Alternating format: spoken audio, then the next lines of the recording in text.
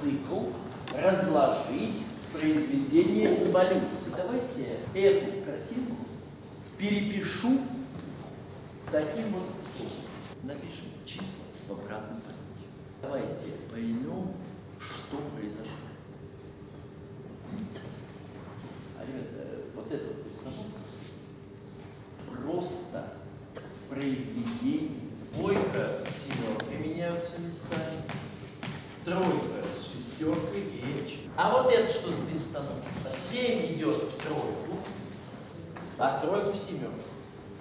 Э, шестерка идет э, в пятерку, а пятерка в шестерку. Четверка в четверку даже писать не буду. Поймем, что бета в квадрате это тождественная перестановка. И альфа в квадрате это тоже тождественная перестановка. Почему? Потому что единицы во переставить, второй раз. То же самое, каждая, каждая пара переставилась. Э, теперь давайте посмотрим, а что будет, если мы сделаем альфа-бета. 7, 3, 6, 5, 1, 2, 1, 8, 2, 7, 3, 6 и 4, 5. Ну, скажем, берем единицу. Здесь ее нет, здесь она перешла в 8. Э, и все. Э, берем двойку. Она перешла в семерку, а семерка в тройку. Да, вот, кстати. Итак, почему у меня это получилось? Оказывается, причина чисто геометрическая.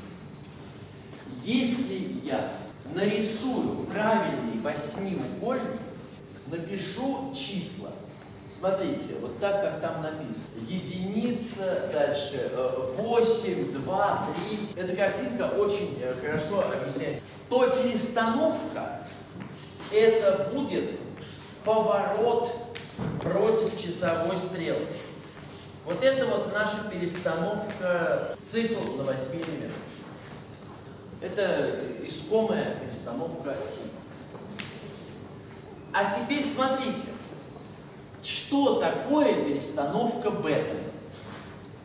Единица меняется с восьмеркой, восьмеркой или шестеркой, двойка с семеркой. Ребята, это же просто осевая симметрия. Вот это операция бета. Симметрия относительно прямой. Если вы выполняете симметрию относительно прямой два раза, понятно, что все точки возвращаются на свои места. Хорошо? А что такое перестановка альфа? 7 э, меняется с тройкой, 6 с пятеркой. Что это такое вообще? А? Что такое перестановка альфа?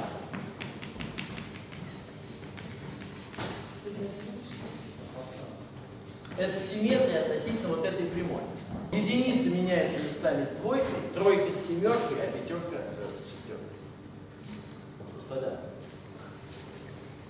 поворот вокруг точки – это композиция двух осевых Вообще, это в геометрии э, очень важный, простой факт. Э, если у вас есть абсолютно любые две прямые, между ними какой-то угол альфа, то когда вы берете произвольную точку и делаете осевую симметрию, а потом вы делаете туда осевую симметрию, то возникают вот здесь вот равные углы.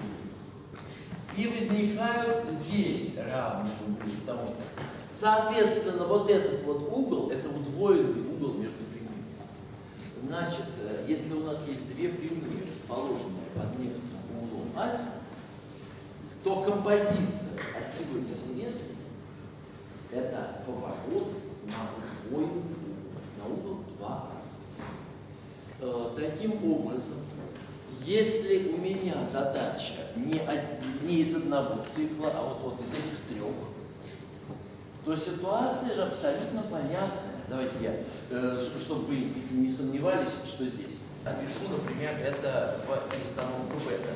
Цикл 1 в 7.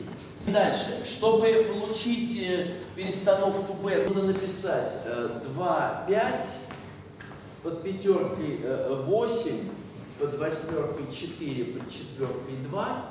Между ними написать э, 4, 8, 5, 2. А что делать для перестановки альфа? 4 в 5, 5 в 4.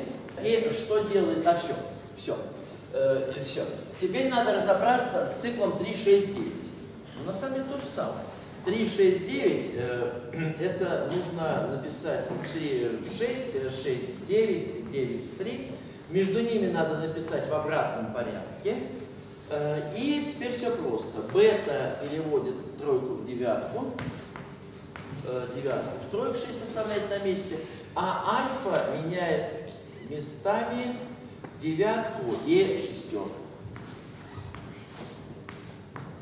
Разумеется, это не единственный способ, но способ. И смотрите, что я сделал.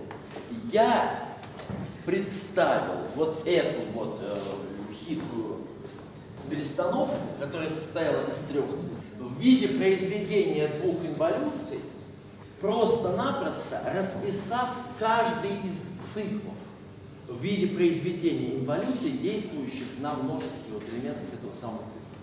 И способ, мне кажется, понятный, да, написать в обратном порядке элементы, написать в обратном порядке элементы, э, и э, все получится. Таким образом, ребята, э, мы получили, что вот эта задача перестановка на самом деле является задачей по геометрии. Когда нам нужно повернуть что-то вокруг точки, можно обойтись двумя осевыми симметриями.